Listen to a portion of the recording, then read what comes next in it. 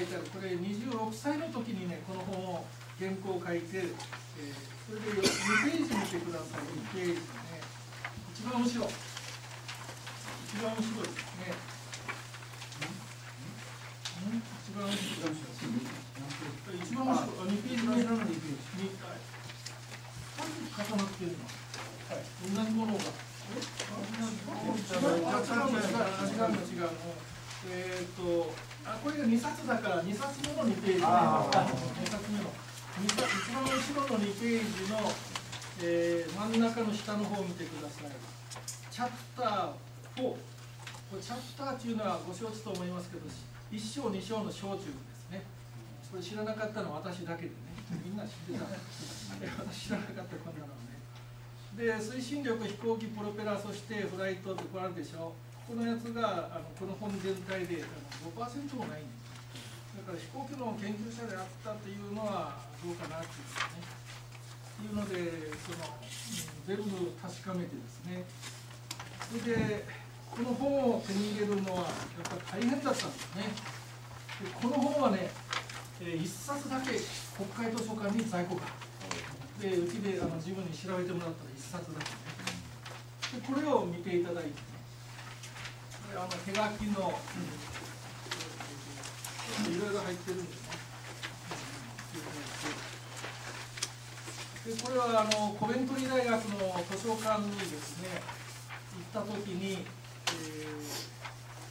ー、イギリス人の古いいろんなものを全部その競売するんです、うん、もう何でもかんでも競売するのね。で競売センターっていうのがあちこちにありまして、え、ずっとこう競売する。でランチェスターっていう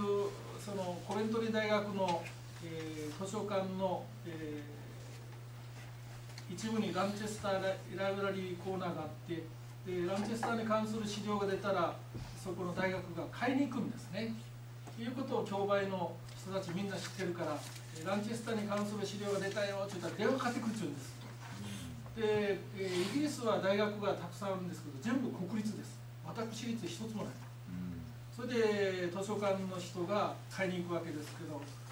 国立大学ですから入札するためのお金をね申請するのにその手続きが大変で間に合わないっちゅうんですよ、ね、そのハンコがいるからやっぱりねサインが。それでどうやって資料を集めてるんですかと聞いたら、えー、入札で買うんだ、まあ、やっぱ思わな思わない時にいいのが出てくるんだ。とでどうやって買うんですかって言ったら困っとるっちゅうね、まあ、そこで私がそこで1000ポンド寄付したんですよね、えー、で当時が1ポンドが270円ぐらいでしたからざっと30万ぐらい寄付したんです。278万ね。それで領収書も何も言いませんもあのランチェスターの競売の資料を買う時だけで使っていただいたらもう自由にしてくださいって言ったら「えー、嬉しいね」って言って「もうさっと買えるから」って言って。それで喜んでもらって、えー、多分あなたがこれを欲しがってるんじゃないかということでね送ってくれたんですねそれで、当時これ以来ですね、うん、ずっと親しくさせていただいてねこれパットヌーンさんという人が書士という図書館のなんか書士っていうんだよねなんか。資格。あ師匠。師匠っていうんですよね。それでこれが原因症でね。それからこれは国会図書館に2冊。中大に7冊。でこれがランチェスター先生の伝記の本ですけどこれ国会図書館にないですね。だから英語のできる人はあのイギリスの古本ネットワークでやればこれいっぱいあります。これはこれは割が新しいからですね。ということで、えー、現象を読んでみれば分かるけどいっぱい間違いがあるとで特にあの、えー、先ほど言いましたけどちょっと元に戻ってですね13ページ戻ってもらうと、えー、13ページの一番上船井総研の、えー、小山社長前の小山社長と岡聡という人が書いてるんですけども、えー、嘘ばっかり書いてるんでなんでかって言ったらこれ結局現象を確かめてないからだから私たちはやっぱりコンサルタントを目指す人はやっぱり現象をね確かめないかやっぱりそのありかを確かめる。であの先ほどあの矢野さんのやつを見てください。矢野さんのね。矢野さんの。下の方を見ていただいて、えー、去年の何月だったか佐藤さん大阪から来て佐藤何月でしたかねあのパーティー開いたのは。12月だったよね、はいはい。で12月に出版パーティーを開きまして、えー、それからまああの、えー、署名は何て言ってたよ署名。あなたのところから書いてお客が。はいお客が。詳しくもう一回はい、詳しく、えー、あなたのところから買いたいとお客に言われる小さな会社そういうふうな題なんですでそのコンサルタントだったまあ皆さんも知ってるような人ですけどその人がこうスピーチに来てねと客に言わせると。お客でこれがいかんと。お客様って書かなきゃダメなんだって言って散々その佐藤さんに因縁つけたわけね。因縁つけた。で私はね白川実って言われる白川先生が書いたこの熱い本があるのをね持ってて前ちょっと見てたことがあったから下に書いておいて客の語源。客の語源これがあの昔のわらぶきの家です。これがね。そしてそれ読んでもらったら分かるけどこれこうね。これが人でこれがこうでしょ。これ大なでこれは人ですけど神様。だから昔は自分の家にね神様が自分の家が信仰する神様が降りてくるところの床の間みたいなところを作って台を作っとったそうですけどその横にで自分が信じる神様以外の神様が降りてこられた時にお座りする大大のことなんです百中の。これ大のことですよ。だからこれおテーブルって言いますかねこれ。おテーブルって言わんでしょ。椅子をお椅子って言わんでしょ。まあ言っても悪いことないけどね。だから語源から見たらお客様でなければダメだっていうことはね怪しいんで客そのものがもう敬語なんだ。尊敬した大事な意味なんですよ。神様が天から降りてこられて自分のところまでお座りいただく大のことなんですよ。だからその客そのものがとてもありがたい何て言うんですか大なんか座る場所とかね大の意味なんです。だからそのお客様でつけてはお客さんにね客っていうよりもお客様で言った方がいいけど通常は客だけでいいんですよ。だからそういうことを知ってやっぱりちゃんと言わないとね、えー、佐藤さんのパーティーの時にそのなんとかいう人が 散々言うて、えー、フォレスト出版の人が3人ぐらい来とったから私が「いぎわり」って行こうとしたら「もうお待ちください」なんて言うて後ろでふざけとったけど「いぎわり」って私が出るような真似しとったけど、だからやっぱりこうね、えー、こういったものは、うん、大事なところ自分がこう説明しようとするものすごく大事なところはやっぱり語源辞典を確かめてねそしていろんな角度から検討してこれでいいのかと。だから私たちはランチェスター何々でご飯食べてですねちょっとランチェスター先生大変失礼なこと言いましたけどね、えー、やっぱりランチェスター法則に関連する周辺のところはやっぱ現象で確かめて、えー、皆さんの方にはですねこれが言ってるからこれがねぱり確かめていただいて二度三度読んでいただいてそして、えー、まあ、熟知していただくということが、えー、大事じゃないかということなんですね。はい。ありがとうございますランチェスター法則の記事を書いた人ですね。ということで社長塾とか、えー、あるいはあの特別な方がいらっしゃったら同定されるようにお役に立つと思いますから、えー、1冊50円で正しい100冊単位ぐらいでご注文いただくと嬉しいということですね。それからあの他のテキストと一緒にご注文いただく場合は送料がいりませんからね一緒だからね、えー、さっといきます。これだけで送るとねやっぱ東京に送ると送りだけで1000円いるからね。やっぱ大変なんですはいそれじゃあその下えー、こっちの方の2ページの、え、4ですね。代理店の経営の維持と売上の確保、えー、私たちがですねやっぱりあの、え、自分の事務所を持って売り上げを上げて維持していかないといけません。やっぱりそのね、えー、ちゃんと維持していかないと私たち将来退職金もありませんからね。ここにいらっしゃる大半の若い人たちは年金も危ない。私は年金もらい出してちょうど10年になるからもう大体10年で元出すんです。私は元が取れたからあとはもうしたことじゃないんです。若い方元何年取れるかわからんのですよ。だから今日若い方なんかねそうそうそう。75までもらえんよ。年金をいらないですいらないけどね。いらない人もおるけど。それはどんどんどんどん伸びていくのはねもらえる支給これ社労士の人がいらっしゃるからよく知ってるね。ということでやっぱり売り上げがいります。で売り上げの確保とですね、えー、どういうふうにするか私も教材をこういうふうに売ってずっとね売ってるんですけど今は代引きですけど前は代引きでなかったんです。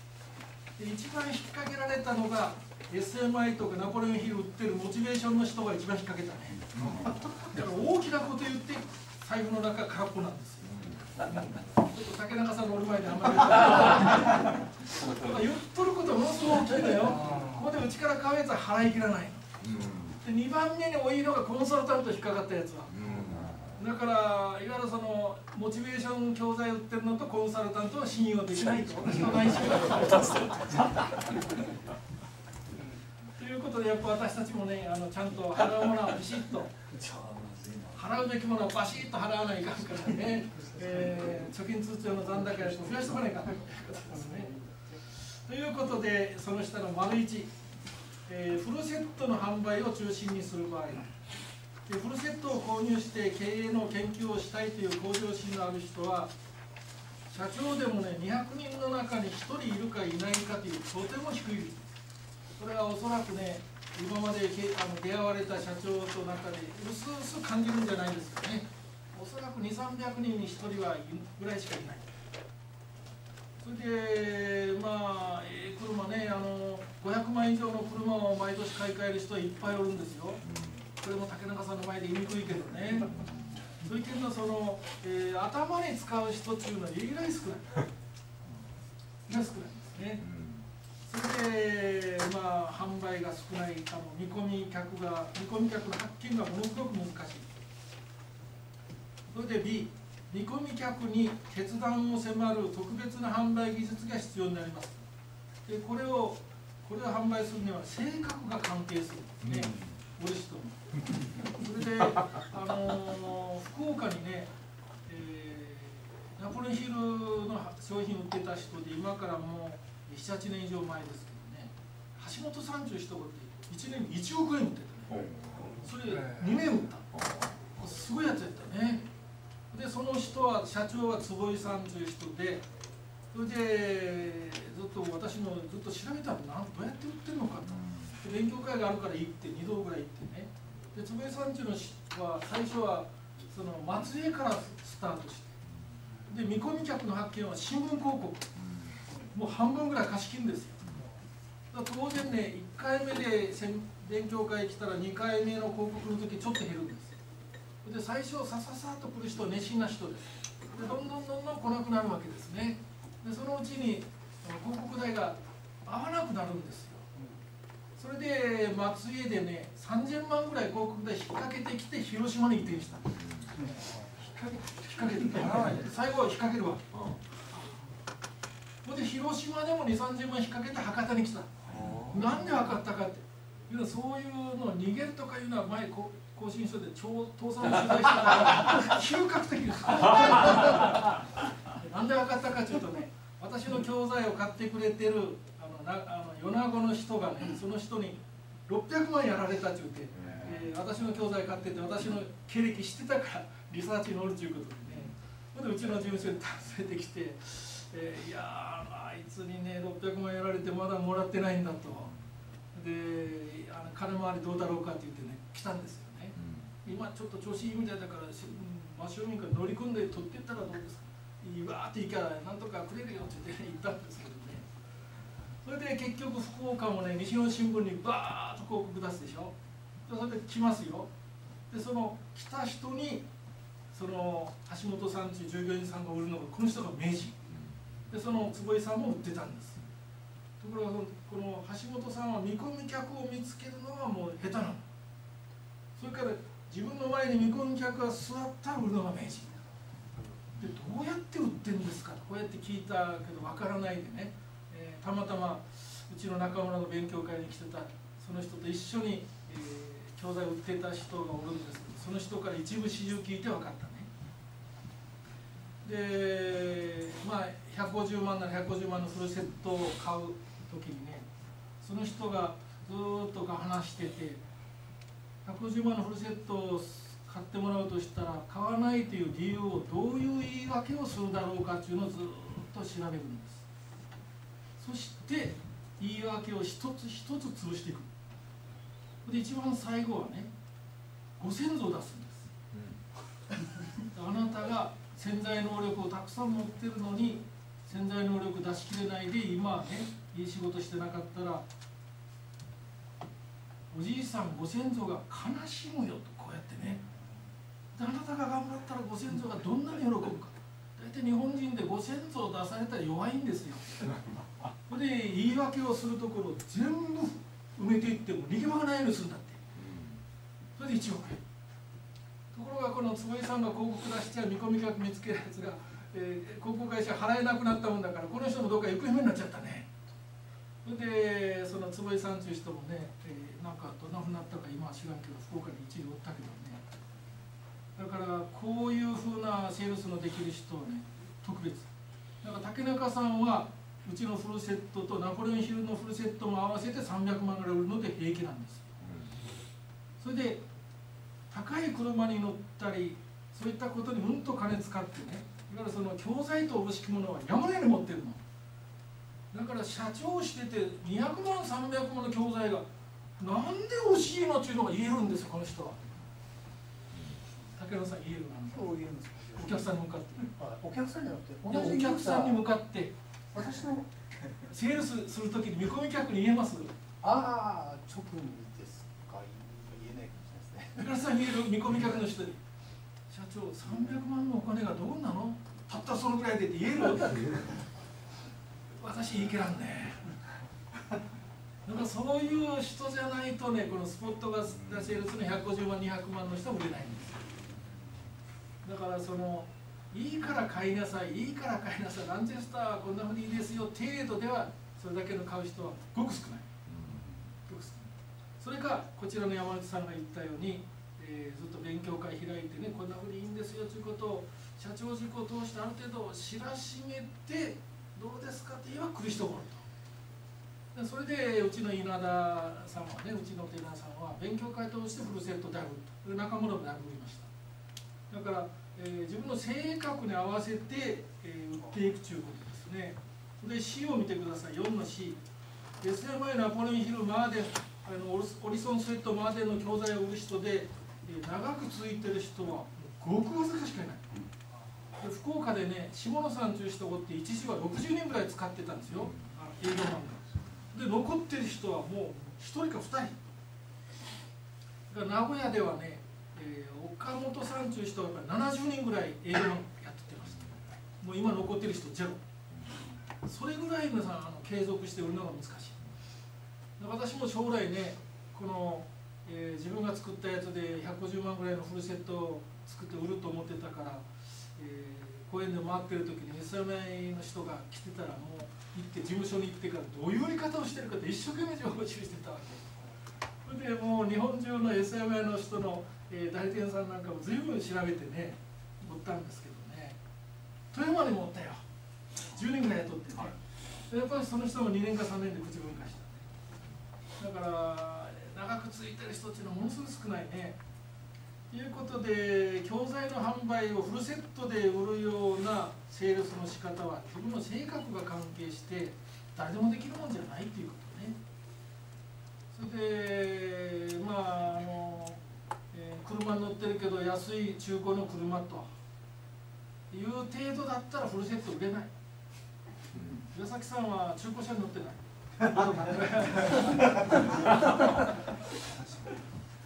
もう私なんかその口ねだけど私自分の勉強のためならもう随分金使ったからね。そっちの方には金出すけどやっぱちょっとまあムキムキがあるんでしょうけどねということであの D を見てください。教材の販売だけで事務所を維持するのは極めて困難。ということですね。だけど可能性はあるかあるから自分がそういう性格に向いてる人だったらいいでしょう。ということでこれまで4億円近いセールスしてくださった竹中さんにそこらでったところちょっと15分20分特別一つ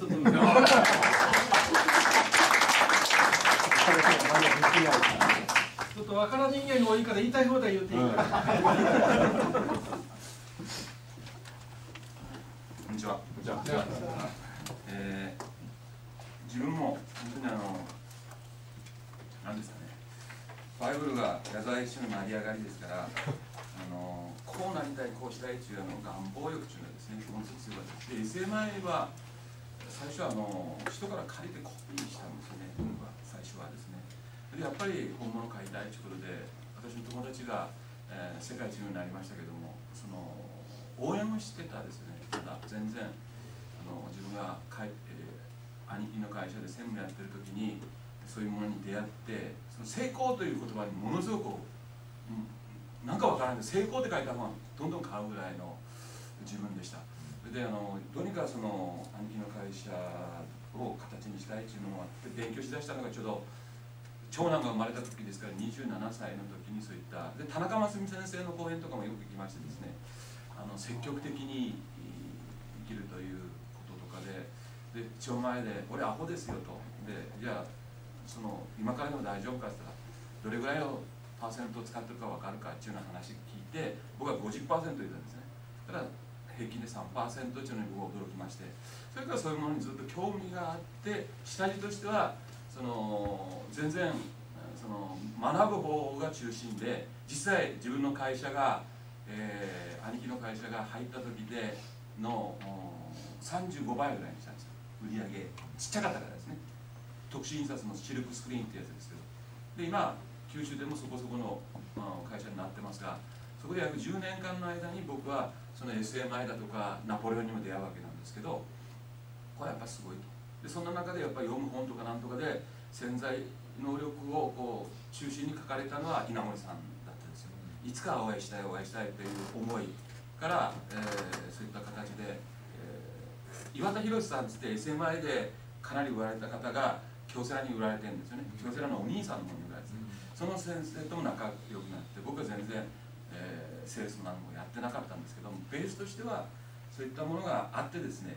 あの SMI 一生懸命応援したらその応援したやつが世界一になっちゃったんですね。でいくらかそのお礼みたいなことを貯めてってくれて僕が独立する時にそれが何百万か貯まってたらしくてプレゼントもらったんです。でそいつのおかげであったんですけど SMI の他にナポレオンも勉強してたりして違うんですよね内容が。SMI はですねあのいわゆる具体的なこと書いてないです。あのいかなる障害とか誘惑があろうとかそういうふうな抽象的な言葉ですけどもナポレオンはやっぱあの男で一番失敗するのは女性なんですよね。あのだから若くしてこける人が多いとかセックスの性エネルギーの使い方とか具体的にこう書いてあるからあこれは分かりやすいと。僕がちょうど離婚で悩んでた時の マッチしマッチやっただからそういう失敗とかなんとかに関してもその分かりやすいからそっちを両方あの紹介しだしたんですね。そしたら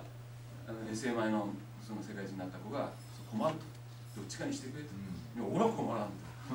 お前が勝手に降ろさんなら降ろさんでもライバルじゃということで頑張って SMI の下でいやいやナポレオンの下で売ってたらそこがまたバーン売ったんですよね。でそれを見てあのなんか佐賀に売っとる代理店があるということで先生がそこに訪ねられてでいや実は自分が売ってないんですよと。竹中中のが売っててそのおかげで今うちの代理店ありますということがあって間接的に先生が僕が会社を起こしたちょうど2年目にお見えになりまして勢い僕にあの「お前は弱者だ」って言われて「何言うとんねんこのおっさん」っていう。もうコテンパンに上がりました。あのもう一寸法師の話から始まりましてですねおいと俺に勝ったやろ弱者がね子供でも勝てるんだよという弱い立場でもっていうことから先生との出会いがあるわけですけどその時はやっぱあのナポレオン行ってましたからでもそのそ即僕も調子よく契約してですね全部買いまして昔なんか代理店用のプログラムもたくさんありましたでそこからスタートして引き出すと全然そのモチベーションと違うじゃないですか。戦略というかですね。違うなと。だけどやっぱり自分にとって足らん部分とかなんとかも分かり出していくんですけど先生がだんだん最初は優しかったですよ。お前やる気あるのかみたいなことで 先生は必死だったと思います。作られても,、ま、もう間もなしですから。それから「いや先生ちょっと待ってください」と「半年後にはもう絶対売りますから」っていうことから半年過ぎた頃からですねあのぼちぼち自信つけまして。で僕のやり方っていうのはやっぱあの最初はだからローンで買うたベンツから始まるわけですけども僕はそのベンツ売ろうと思ったんですその弱者は調子に乗るなって書いてありますから。で先生に尋ねたら「君はどういう気持ちでベンツ乗ってんだ?」って言われたから「俺社長になったら絶対ベンツ乗りたかったけ」って言うて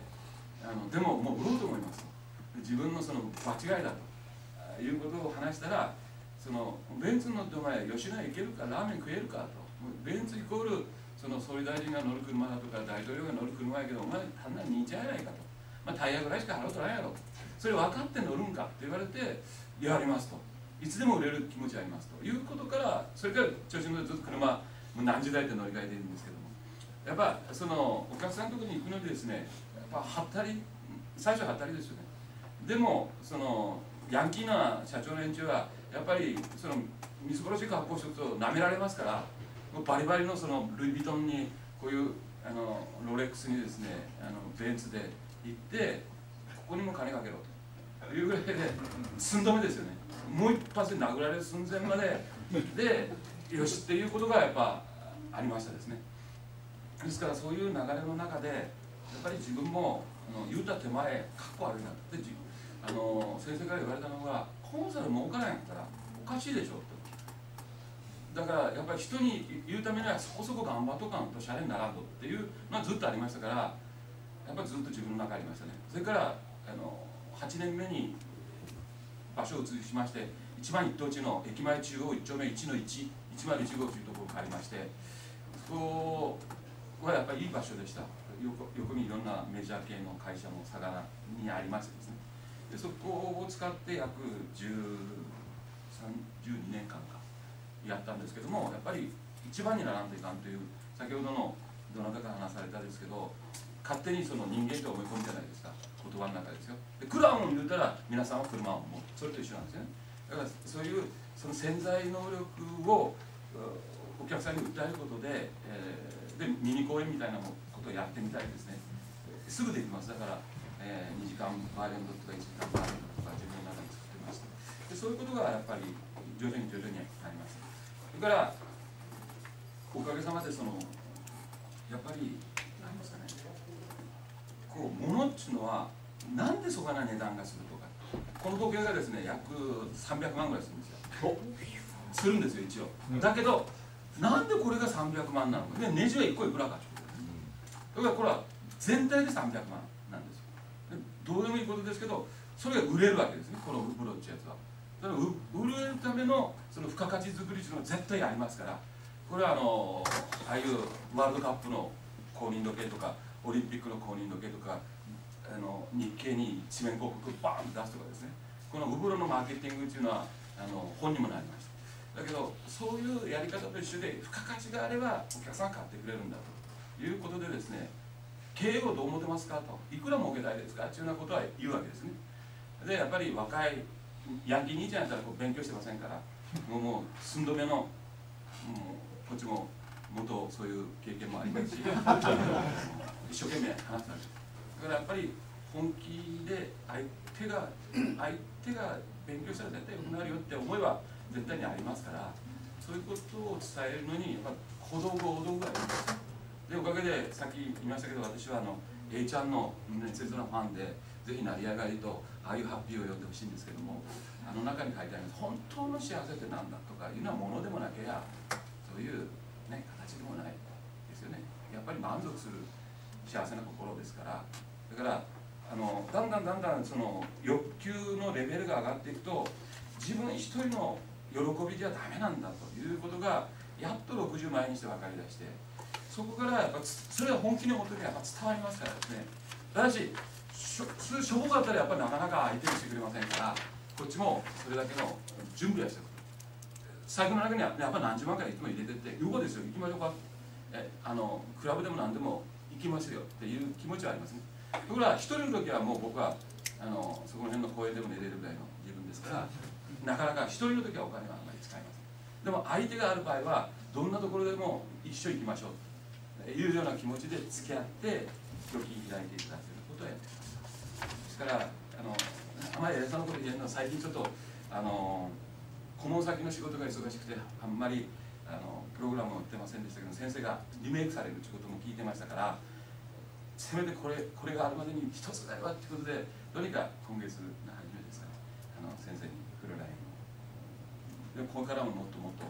原点に戻ってやっていくとにかく先生の純粋な思いっていうのはあ間違いないっていうのも本物ですからやっぱそれを伝えるんだという気持ちと勉強せん経営者あまりにも多いということで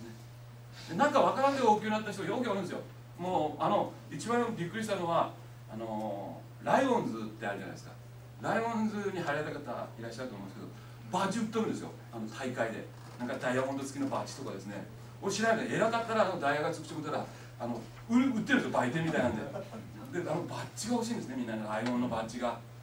だからあれで変になる人も余計おるんだろうと思うんですけどそういうお金あるんやったらやっぱ自分にこう投資して勉強せんですかという言い方はやってまいりました。それがまあ寸止めの間間違えますと大事になりますけどあのあんまり危険ですからやめないでくださいということとなんとなく読めるんですよ僕は。あの未来がこう少し分かるみたいな。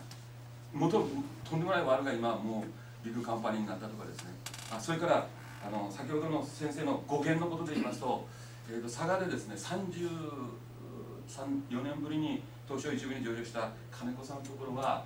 あの大安吉日物語っていうのであの婚礼会社がダンと上がったんですよ。あの21世紀企画中タイトルつけてあのなんですかね、えー、そういう大安以外の日を売って、え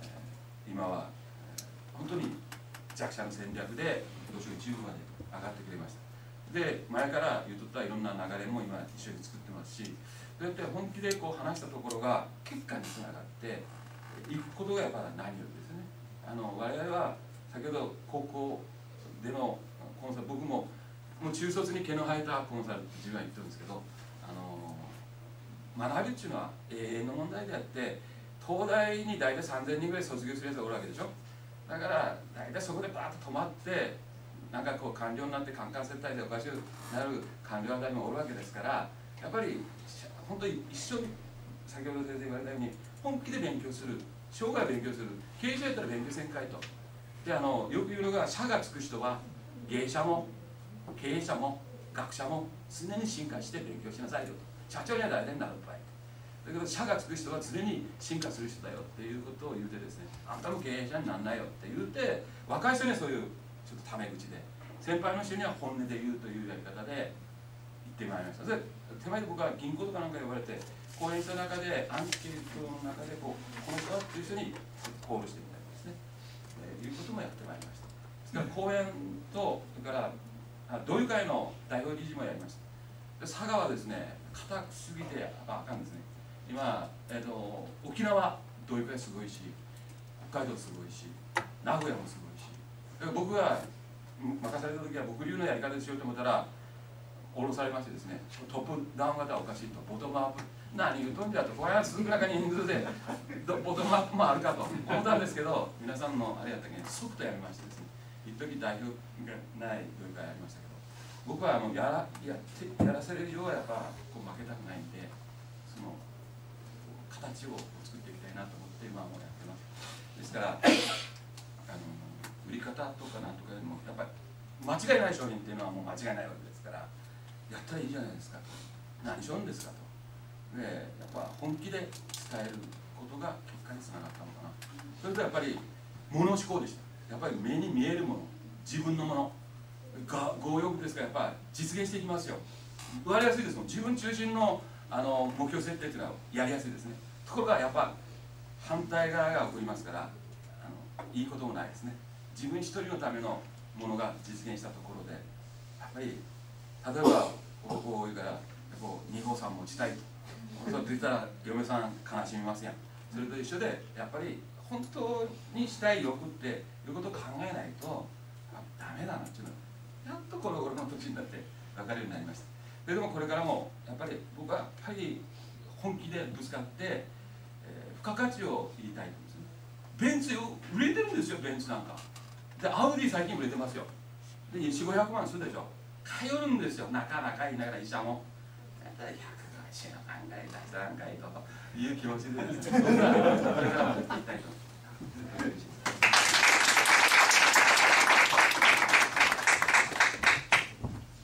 うことでね、えー、竹中さんのセーという話聞かれて分かると思うけど、フルセットが大体定期的にきちっと売れるそうというのは、人は性格を、生い立ちがあってね。ちょっとこれ、勉強とかでやれるやれんことはないけど、結局、日本中でナポレオンヒル SMA のセールスの人がたくさんおるけど、えー10年以上続いてる人って極端に少ない。だから同じことやったら私たちもその二の舞になるから、ちょっと違ったことやらないかんということですね。えーちょっと資料が後先になりましたけど、今追加で配りました、あの第一次大戦のリゼルハート空中戦についてで、こっちの方最初見てください。こっちね。こっちの方最初見ていただいて。はい。えー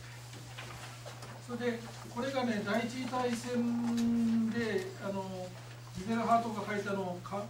で上村達夫さんが翻訳されて、この人は慶応大学の教授でした。で、これ見つけてすぐね、あの見つけてすぐ慶応大学の人事部に手紙出しまして、はがきを。で、この方にちょっと問い合わせをしたいから、現在どちらにお住まいか教えてくださいって言ってはがき出して、返信、ではがき出したらすぐ帰ってきまして、え現在は奥さんが亡くなったんで、え千葉のなんか環境のいいところの老人ホームでお入りですって言って住所が来たからすぐあの手紙出してね、えここのところ、えー十数ページ転載させてくださいという許可願いをした。らすぐ来まして、えー OK と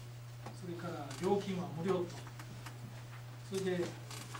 無料だからいつでも使ってもいいけどただし悪用しないようにねあのそれだけ気をつけてくださいあなたを信じるからで日本の場合でね天才許可出したらもう全部ただねだから1万円ぐらいのやめちゃおうバーッと送ったらねまたお礼が来てありがとうって言ってねでこれは天才だから皆さん天才 OK です。私がちゃんと許可証もらってるからね。それからもう一つ。これ新聞記事ですねこれ。でこれリレルハートについて書かれたもので、えー上から3行目日本経済新聞ですけどこれは間違ってまして西日本新聞でした。後で分かってね。そして大事なことこれ後で読んでいただいたら分かるけどものすごく大事なことがねこの最後にあるんですね。これの方の一番最後ね。えー3ページの真ん中のところのリレルハートの唱えの唱える戦略戦術ってあるでしょで、えー三角黒い三角印の4つ目を見てください。これはまたその文章の続きがあるんですけどね。戦術攻撃で一旦失敗した後でそれと同じやり方の再攻撃は絶対するなというのが、えー戦略の、えー戦術ね。そのリゼルハートの教訓なんです。でこれ私たちに置き換えたら何になるかというとチラシを打ってい一通も反応がなかったら同じチラシを2度入れるなということです。これ戦術攻撃ね。だからその時にたまたま台風が来たとか地震があったとか社会現象が大きなものがあれば別ですけど通常ね広告を出してみるとかあるいはそのチラシを打つとかなんか戦術上の仕事をやってまるで反応がなかった時の同じやり方をもう一度繰り返すなっていうことね。これがものすごい教訓です。これねですからもし2度繰り返す時は規模を縮小して試しにやってみるか例えば1回目のダイレクトメールをね、えーまあ5000通出して、反応がなかったと。じゃあ文章を書き直してもう1回やってみようという時は今度は1000通以下よ500通とか1000通で試してみる5000通も出さない。でそういうことがあのこれがこれが実践から出たもんでね。これはもう絶対役に立つね。だからあの顧問契約なんかする時の社長のアドバイスにこれ出したいこれ口で言ったらダメだけどリデルハートの話から入っていくと説得力あるんですよ。なるほどっていうことね。ということで、えーここれは、えー新聞の記事ですから許可取ってますけどこっちはあの村上達夫先生に上村達夫先生に許可取ってるから使っていいということですね。はいということでした。それじゃあね、えーまあ、教材をフルセットで売ってあの事務所の経費を維持しようということはちょっと私はちょっとあの経験がないからできないんですね。ですからいずれそういう方がえ出てくればまた勉強会を開けばいい。えーで次ですね。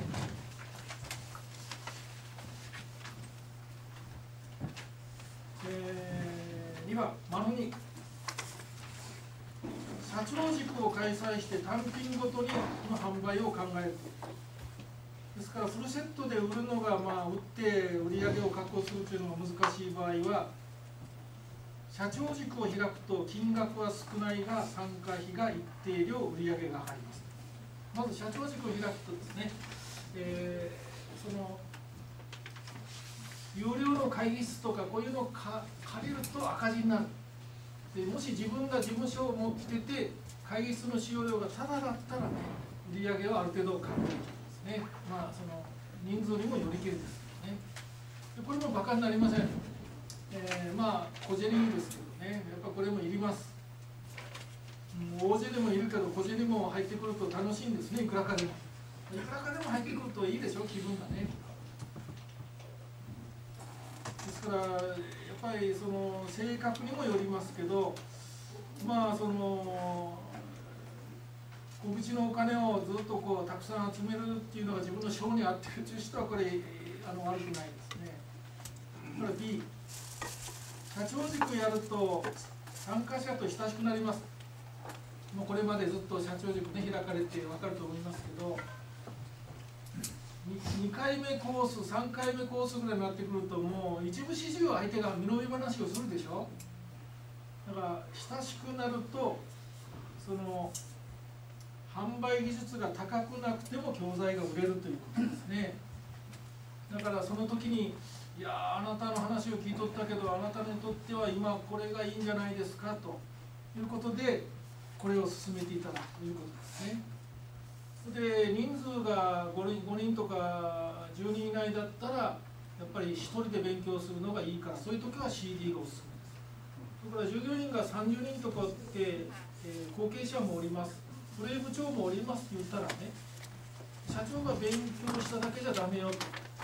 その古参部長後継者古参部長も一緒にまた勉強するのには DVD がいいから。だからうちにも問い合わせがあった時は、えー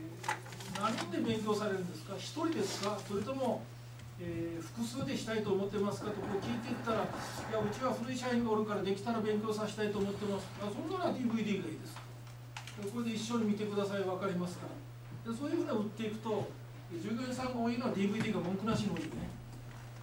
だから従業員さんが10人以内の時はもうそれはあの自分一人が気楽に聴ける CD がいいです。いうことで使い分けて進めていただくんですね。それから社長塾の開催コースでこれは変更してまして、えー去年からちょっと変えてましてですね。それで今までのコースと変えていただきたいということですね。これを見ていただいてねちょっとこっちの小冊子を見てくださいえーこれ新しく作り直しました。これ前皆さんに渡してるやつを一部作り直しましてですね、えーどこが変わったか。まずここが変わりました。テレビが横長になった。テレ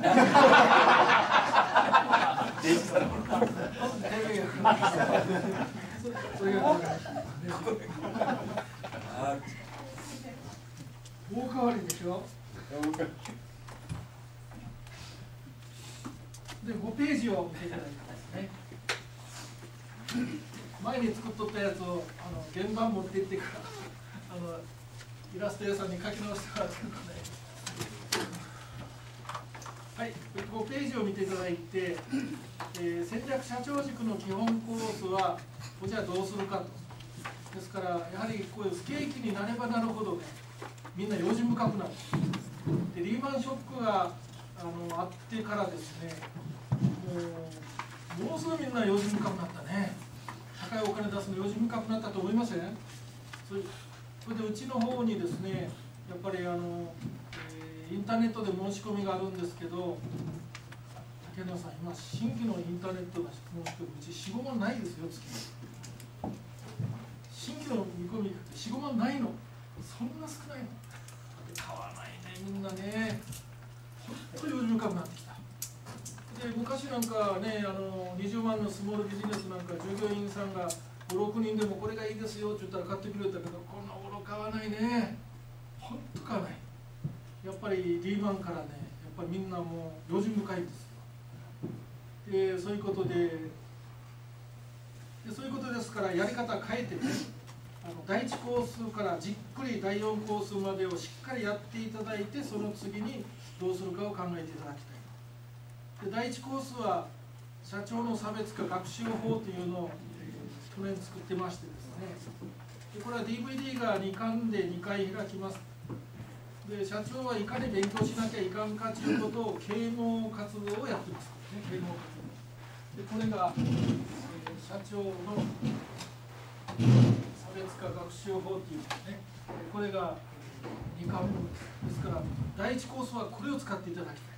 これね。今までやってきたスタイルというのがあると思いますけど一応騙されたと思って、えー何チームか試してやってみてください。だから自分がやってきたものと、えー私が勧めるやつと試しにやってみて悪かったら戻しはいいでしょ。大事なのは試しにやってみること。3チームぐらいそうすると相手の反応を見れば分かるから。ということで第1コースはこれですね。で第2コースは前と同じ戦略社長の DVD です。で第3コース社長の実行力を高める高めて難局を乗り切る。これは時間戦略。長時間労働ですね。で今日本がなんでこんなに経済が日本の国中がダメになってるか。まあいろいろ理由ありますよ。日本の国の経済がなんでこんなにこの賃賃貸化していって凋落したか。韓国台湾中国の社長と比べてね社長の労働時間が1年に1000時間少ないということが雑誌に載ってましたね。私も確かにそう思いますね。だから、その時間で負けてんですよ。台湾韓国台湾中国にね。だから1年の仕事時間がね社長の時間が1000時間短かったらねちょっとこれ勝てないんですよね。だから願望の結局願望の欠如なんですよ今は。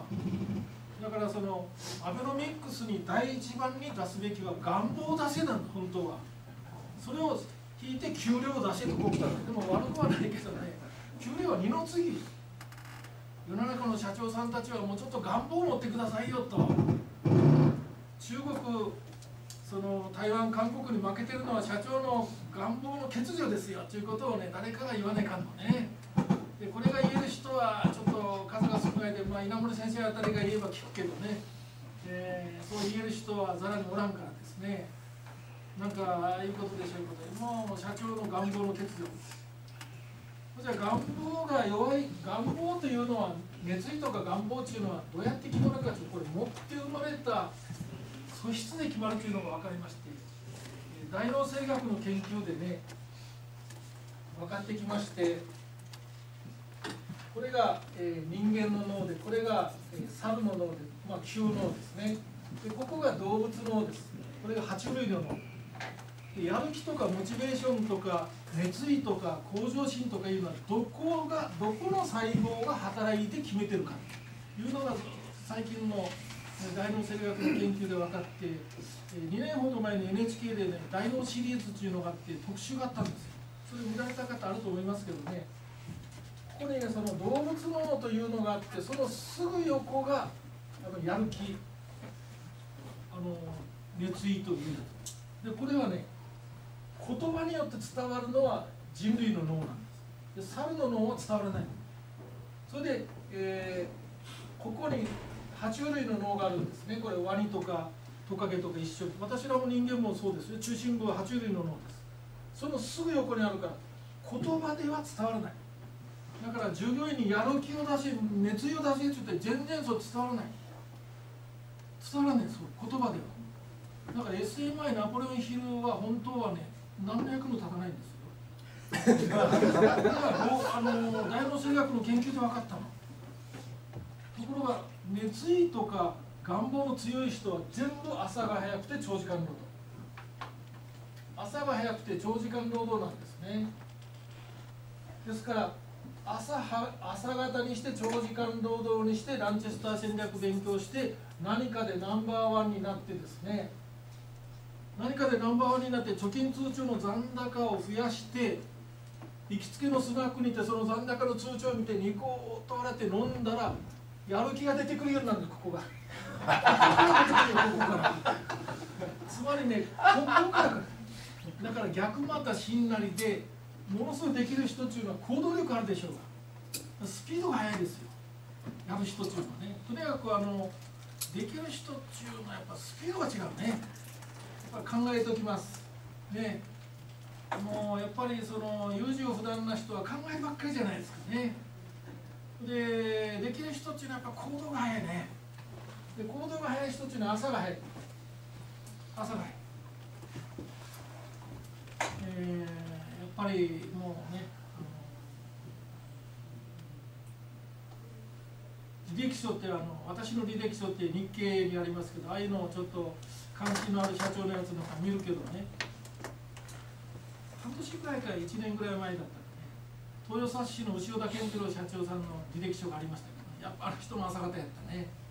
一代で何かを成し遂げた人はみんな共通して朝方長時間労働例外があります。一つね。これが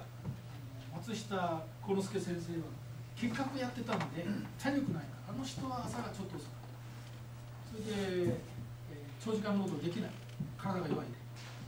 もう極めて少ないそういう人。はほとんどは朝方の長時間。だから朝方の長時間労働でランチェスター法則勉強して死の子の言わんで言われた通りやってみると何かでナンバーワンができるんです。大体45年でできますよね。うん。ちょっとよっぽどひどければ別ですけど。売ってる商品がまるでダメだったらできないですね、うん、売ってる商品がまるでダメだったらねその商品変えるだけで45年かかります商品のライフサイクルですね。商品のライフサイクルの衰退商品の社長が経営相談に来られたら一番困りませんか？皆さんどうです？あるでしょう。もういよいよ衰退商品になった人ね。うんいやこれは。例えば私久留米の出身ですけど久留米ガスリの社長なんかもう言われてどうしたらいいでしょうかって言ったらどうもできませんって言うしかないでしょ？久留米ガスリどうしますかこれね。やれることはないかもしれんけど私はできない。だけどまあある程度消費がそこそこだったら朝方で長時間労働でで弱者の戦略ルールを素直にね34年やっていただいたらなんかできたっていうのができますねナンバーワンに近いのは。そうすると大体お客さんが褒めるんですよ。お客さんが褒めてくれるとやる気が出てくる。もう一つやっぱり物的証拠。これは貯金通帳の残高ですね。この残高を見てニコッと笑い笑うとここにガガガッとこう作用してですね。動物ののところにさこれは言葉じゃないんです。ですからやっぱ貯金通帳の残高は常に一定以上置いとかないかんですよ。カツカツにしとったらダメですよこれね。定期にしたらダメ普通用にしとかないいつでも見られるようにしてね。ということで、えー、この第3コースは実行力の高め方。で第4コースは早分かりランケスター法則ですね。で以上の4通りが基本コースになりまして合計10回で期間は2ヶ月半になりますけど一度基本コースを受講した人には参加費は半額にして2回目も進めてください。そうするとね 2, 2回目か3回目に来てやっと理解いただくね。1回目は全然理解できてない。もうあの右から左。もう考えとることは全部大会社のやり方と共生の戦略ですからね。それでその下ですね。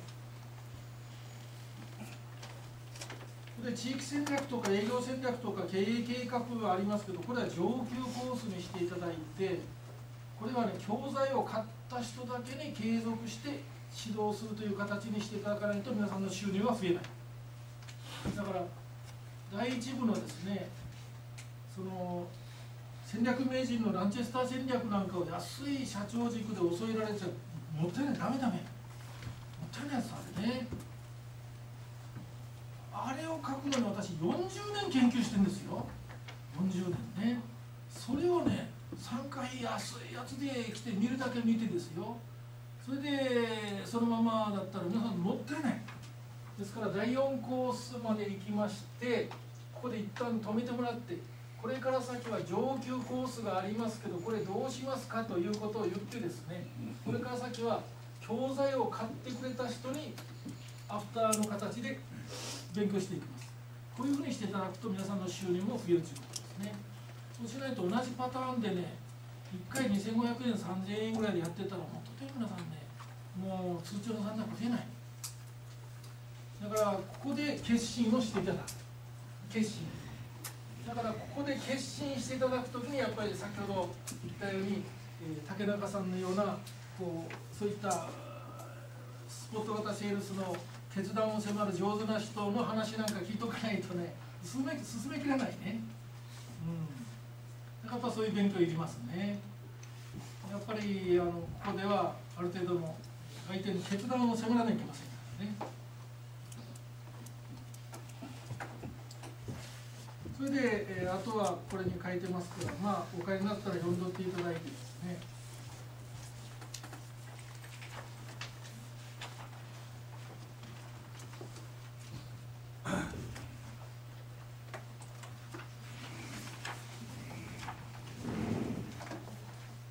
はい、それじゃお手元のテキストの、じゃあこっち、あの進行図の2ページ。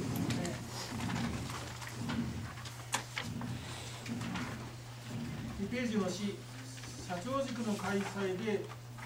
ー順序の変更について説明しました。これあの社長塾の回数がめちゃめちゃ多い西谷さんもぜひこれ1回試しにやっていただいてねそれで4コースで止めてそして、えーちょっと教材付きというものを試しにやっていただきたいというね。はい、D を見てください。今言いました。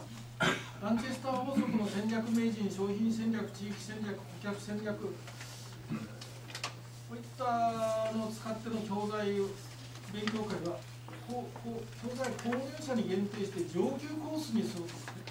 なんかあの自分の方でブランドを作ってください。自分に合った言葉で。でやっていただくといいと思いますね。じゃあこの D についてちょっと何人か意見を聞きたいと思いますけど、岩崎さんどうですか？今のコース。あの教材ナンバーはなかなかなんですけど今のコースで社長塾を受けるだと地域とか社えーとそれは特にその脱落じゃなくほとんど入ってくれますけども教材売らないと売り上げも上がらない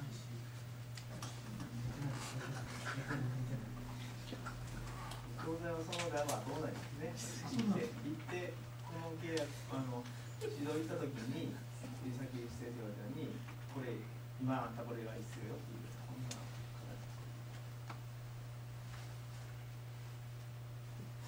他社長塾やってる人でこの D について何かちょっとありましたらどうですか。社長塾に一番やってやるかというの。社長塾。柿迫先生は今張り切って頑張ってやってるの。えーっとですね、あのー中中小企業の小企業のありましたねに20万ぐらいのはい。ああれはちょっとう売りにくい、あの20万の。えああ、なるほど。ーもうもう少し手頃で、えーこれを買ってくれたらこのコースっていうのがなんかこれじゃダメ？CD のこれじゃダメ？うん？